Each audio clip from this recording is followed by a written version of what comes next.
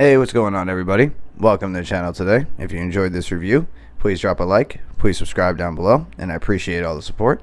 And as you can see, we have a black Nike slide box in front of us today. I've always been a fan of these boxes. This is kind of a special release, too. I was unaware this was going to be a women's only until a few days before it dropped and uh, they released on Dover Street Market, New York's eShop. And there might be a wider release later. These are the Nike Dunk Low CDG women's 11 and a half, as you can see there, with a men's 10. If we come across here, you can see we have a 260 retail price which is extremely high for a regular dunk. It's extremely high for a sb dunk. It's extremely high for a nike in general retail. Now these did also release alongside a second pair which was a print version which had kind of the cdg print underneath the translucent upper here which is an awkward kind of material we'll talk about. It's kind of um, like the element 55 element 87 jordan um, what was that? The jordan racer 89 had kind of this weird uh, meshy, translucent. Uh, I don't want to say neoprene almost, but I don't know. It's kind of hard to say what this material is. If anybody knows exactly what this is called, let me know down in the comments. I'm really lost on what the name is of this right now. But anyway, as you can see, because it is a black, black clear, but the clear is overlaying in some spots, it creates a tonal effect. So it looks a little darker around the toe box, a little darker here where the laces come through on this little paneling. So I kind of like that touch. I think these are pretty cool. Um, I think they're extremely overpriced. I, I, guess that's kind of the blunt, straightforward way to say it. 260 retail is absurd. I don't know why these couldn't have been 160 retail. Um, somebody let me know if they have a reason for that. Besides CDG being a high-end fashion kind of brand, um, yeah, I will actually leave a photo here of the all-over prints. I don't know if I mentioned that already. If I did, I'll just cut this out. And if we flip it around, you can see that tonal overlay I was talking about in the toe box with the layer of the clear material. And if we bring it up close, actually, you can see that kind of grid pattern that's across it. And you've got a little bit of touch of suede going across here. Touch of suede on the other side at the lower part of the laces. Going up on the tongue, you have a wax laced that is flat. The tongue itself has a um, nylon patch on it. Underneath that is suede lined, and the entire tongue itself, I'm sorry about that, is actually the same exact material as the upper. This part coming across where the ankle would be is also a suede. The black is actually overlaid on the upper. It is not underneath, just in case anybody was curious about that with the black swoosh.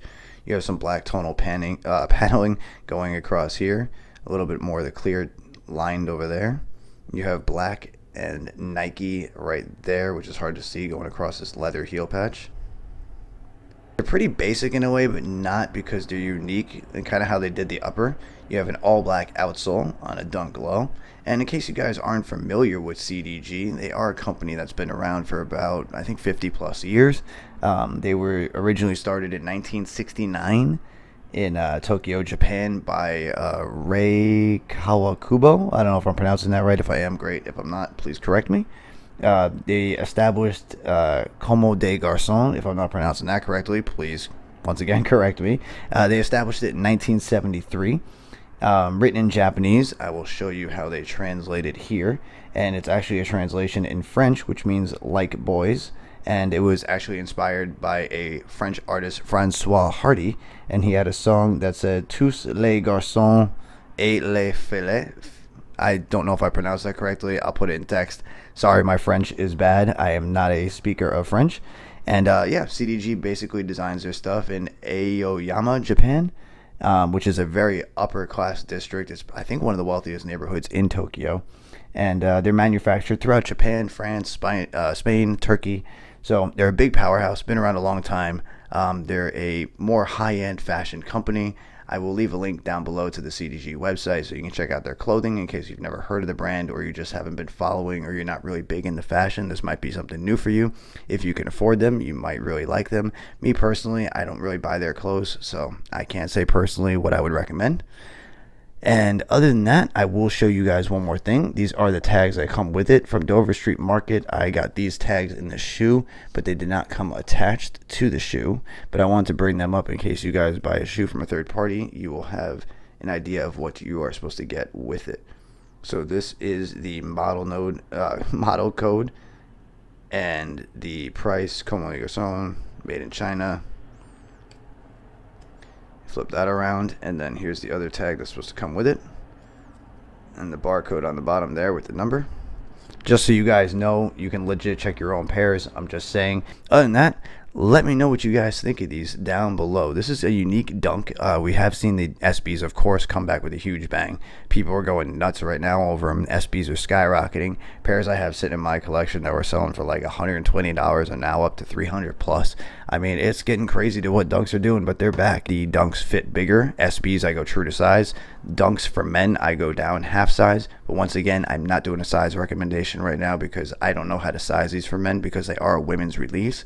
So for a man's foot, because we are built different, you might want to stay true to size. They might fit okay. So, you know, it's, it's kind of hard for me to do that, and that's why I don't want to steer anybody wrong. So I'm not doing a size recommendation for these sneakers.